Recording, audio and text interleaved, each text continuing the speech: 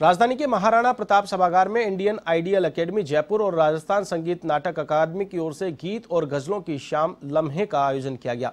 इस मौके पर मुंबई के सिंगर श्रेयस पौराणिक, राजू दास और जयपुर की अंबिका मिश्रा के साथ दीपक माथुर के गाय गीत और गज़ल मुख्य आकर्षण का केंद्र रहे। इन कलाकारों ने सोलो और डुएट गीतों को अपनी आवाज़ में पिरोया।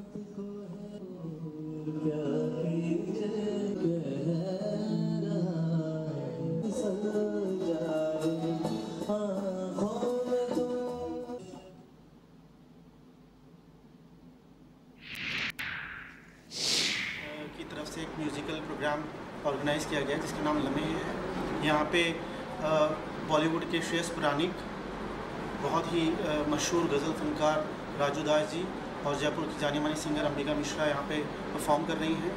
और नए और पुराने गानों का यहाँ पे संगम है, गज़ल का संगम है।